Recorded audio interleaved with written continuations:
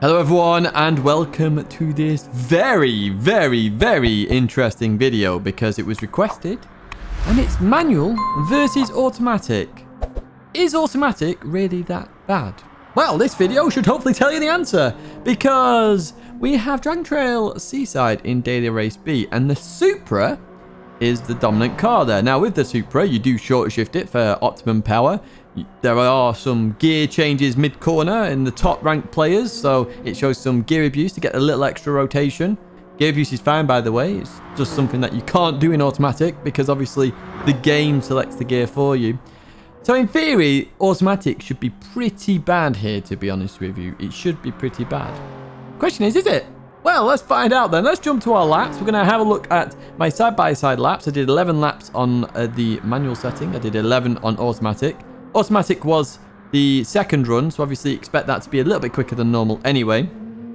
We'll discuss what I found in that uh, settings. We'll then have a look at the rank 1 player and how they use the gears to their advantage and whether you really should care about that or not. Uh, and then we're also going to look at any other advantages or disadvantage to each setting, whether it's manual or automatic.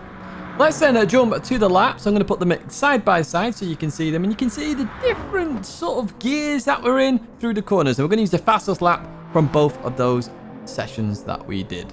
Here we are then. Uh, we go on to the laps. So as I say, left is manual. You can see that with the MT. And right is automatic. I have no idea why the lighting is different, by the way. But you can see we've short shifted on the left. And we do carry a little bit more speed there as we head towards turn one. You can see the difference there. 158 versus 157. So there's a disadvantage the automatic, okay? You can't actually shift where the car should shift, basically. The game is revving the car. We shouldn't be revving in this situation. As we get to the apex, though, you can see a very different gear selection here. I've gone for second. In the daily race guide, I said keep it in third as well here. Um, so the game is keeping it in third. Um, not because I said that, of course, but um, it's decided that's the best case. And in reality here, we actually get a better better corner with the automatic. So it's not doing too shabby, to be honest with you. Uh, it's actually ahead of the manual car there. You can see that with the speed increase at the end, end of the exit curve there. So obviously we were one mile an hour up on the automatic. And then as we head to here, we are a little bit quicker now on the manuals. You can see the disadvantage there to automatic already.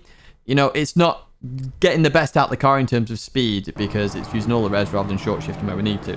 I'm just going to slow this down and just look at how good the gear changes here. They both shift at the same time down to second. So automatic doing fairly okay there. Now you can see a little bit of a wobble on the uh, the exit with the uh, automatic. And that's all to do with uh, just the shift of weight and potentially not expecting the gear change where if you do it yourself you would do expect that. We're through here, you're going to see a difference there as well. So fourth gear was much uh, held for much longer with the automatic than it was with the manual. But it did actually help with turning. I was finding actually I was getting less understeer with automatic, which is pretty weird. Brake balance was the same uh, and everything. Uh, and as we come to here, you can see, once again, manual slightly ahead in terms of miles an hour. Um, so we, know that's a disadvantage now. Uh, we won't keep looking at that. But as we head in towards the corner here, you can see I've dropped to second gear much earlier with the manual and the automatic's delaying that. We saw that earlier on where it was keeping third gear for the first turn. And you can see that's had an impact because in terms of slowing down, we're able to slow down quicker with engine braking with manual than we did with automatic.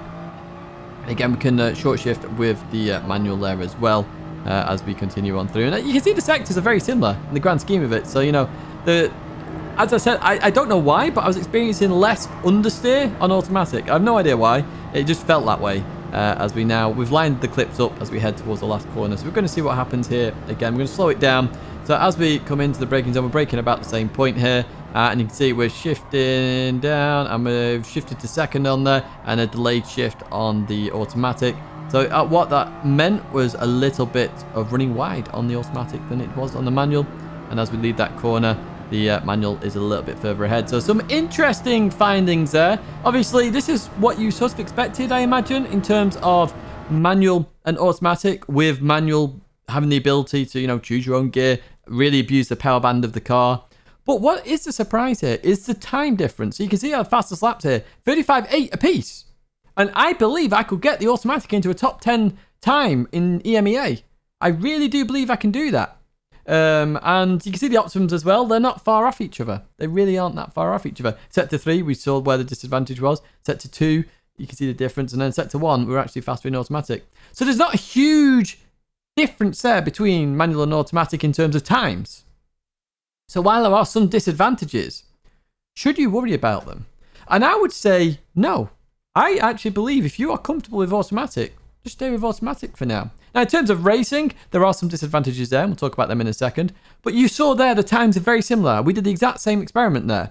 Now, automatic, I was expected to be a little bit quicker than I would have been because I'm obviously on lap 20, whatever it was at that point. But even so, even so, automatic is not that far off. And as I say, I believe I can get that into a top 10 star if I just put a little bit of effort in and, and, and you know, carried on with that. Now, as you have more corners and braking zones on a circuit, that difference may increase, as we saw. The the automatic was just shifting down a little bit too late into second gear, where we are actually going to be using second gear. But in the daily race guide, I did say keep it in third, so it's you know it's not it's not the end of the world. And I think if you are struggling for times, worrying about gears actually is something you can avoid doing. You really can do it. Right, so let's now go to some more disadvantages of automatic. Um, obviously, this is just a bit of information. Some very obvious stuff here. So we're going to jump to the rank 1 currently, which is Haku. Hello, Haku. And uh, we're going to see what Haku does into the corner. Now, you can't do this on automatic. Drops down to second gear. Uh, up, straight up to third very quickly. And then, look at that, straight down to second and into third. Now, I don't know if that was a mistake or not. Uh, that's a very quick change. It could be just to get the tiniest of rotation on the car, but you can't do that in automatic. You are very well aware of that. You can see the short shift as well with the power.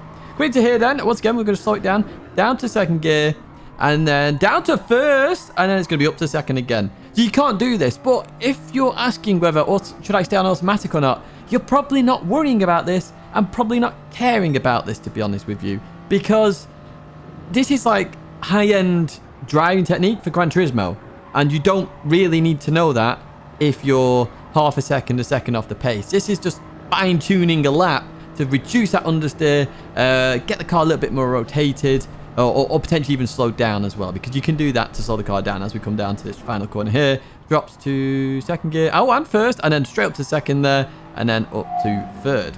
Now the other disadvantage with uh, automatic is fuel saving. You can't do it so you can see I short shifted there already I'm going to short shift again in the Scirocco here very much below where the game would actually uh, change gear for you uh, and because it will always try and rev the car out, it's actually really bad for tyre saving as well. Because you're constantly revving the car.